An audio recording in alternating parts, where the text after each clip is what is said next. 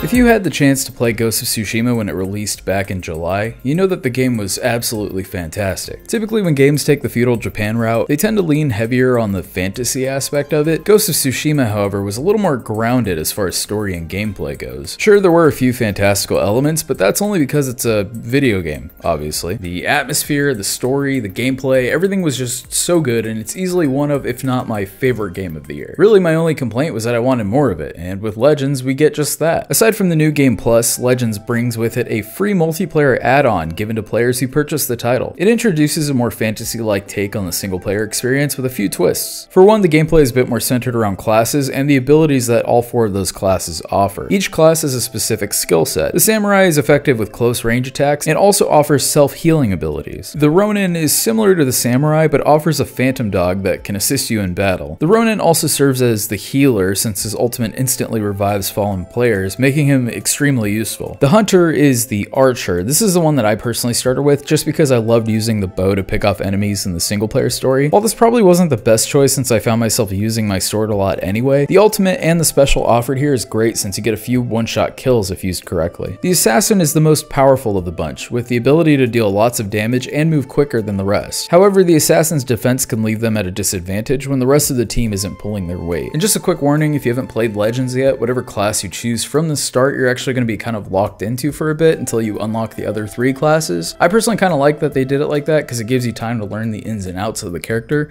so you have at least one class that you're really fucking good at. This is also especially good if you have that one friend that you play with a lot because you can kind of coordinate the best team at the start of the game. Now with the classes out of the way, let's talk a little bit about the gameplay itself.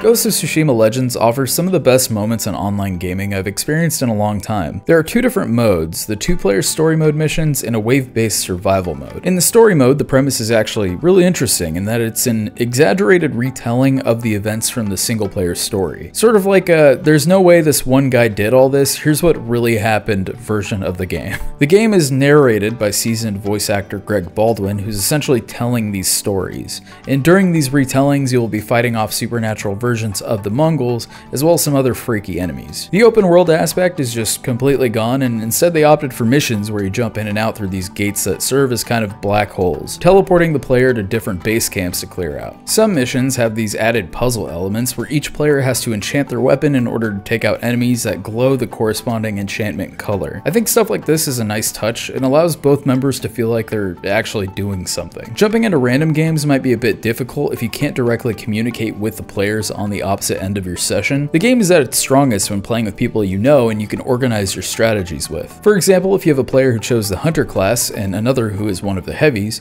you can have the Hunter take the high ground and clear out any strays that you may miss. This allows for fantastic gameplay beats that almost feel scripted with how fluid they are. Rescuing your buddy with raining arrows, then flying down to assassinate an enemy because they don't know you're there yet feels so good. One surprising feature was the inclusion of photo mode. I was really surprised to see this here considering it's a multiplayer game and you can't pause a multiplayer game, but obviously it was really popular in the single player experience, so I guess it makes sense here. You do have to enable it before you start playing multiplayer, and pretty much how it works is the same as it does in the single player experience, except here it freezes up for both players, and then both players has access to all the photo mode tools. So you can still take pictures and add filters, and pan the camera, and line up your shots, and all that good stuff. However, when you exit photo mode, it does kick both players off of it, so you do want to make sure you communicate before you uh, ruin somebody else's shot. And then there's the survival mode, which has you and three other players in a map with multiple sections you have to defend against 15 waves of enemies and sprinkled in boss fights. The main objective here is to just hold out until the waves are complete. This offers some really fun teamwork and strategic planning to get all the bases claimed. It does get pretty difficult, especially if you're the type to take initiative and hold a section on your own,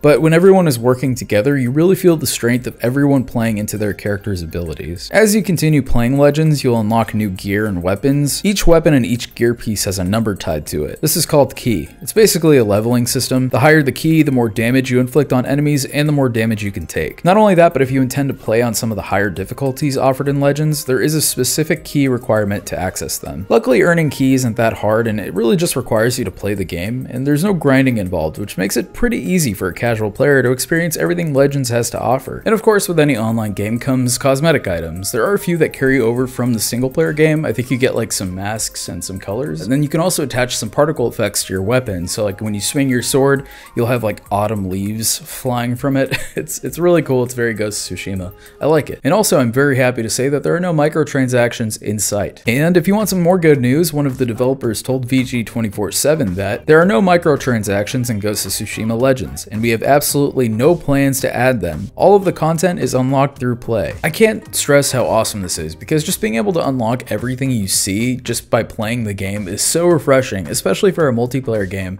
in 2020. Although I do hope that they continue to add to this game, and I also hope that eventually we will get the open world experience in a multiplayer format. I mean, imagine the ability to traverse the island of Tsushima and explore and reclaim different parts of land just like you did in the base game. If this was something that they do eventually consider, I wouldn't mind paying $2 for a, a mask that makes me look like Gumby or something. I don't know. The overall gameplay in Legends varies only slightly to the single player experience. The stances are now tied to your sword as opposed to having access to all of them and being able to switch on the fly. While you can access more as you play, you will be able to choose whichever weapon and stance best suits your gameplay style. But as you play and upgrade your class, you will then get access to better weapons which will come with better and stronger stances. Think of it as sort of a loadout system like any other multiplayer combat game, and I really like how they did this because it allows you to try out different things and see what works best not only for you, but for the rest of your team. So now for the real question, does Ghost of Tsushima Legends add to an already awesome game? Does it make it better? Does it make it worse? Honestly, just the fact that it's free and there isn't any sort of barrier to entry or paywall tied to it is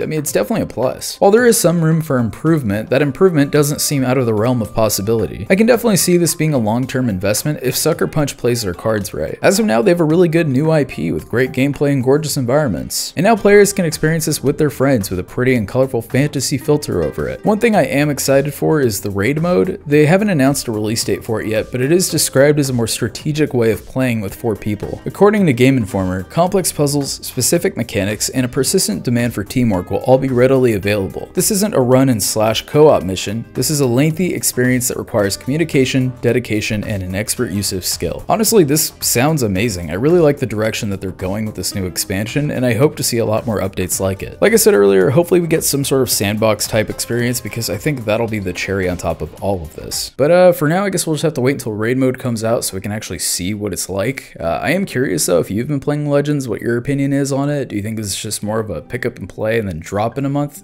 kind of thing? Or do you think there's actually some potential here for future updates and expansions? Do you think it would be better with a sandbox mode? Do you think that maybe they should add more story missions? Let me know in the comments below and enjoy the rest of your Sunday. All right, bye everybody. Ghost of Tsushima is, for some reason, this photo mode is like blown up everywhere. And I guess I, sh I should say, I don't spend any time in photo mode. Most games, most games, I won't even open the photo mode unless it's like Spider-Man where you have to. There's like missions that require you to take pictures and stuff. If you're kind of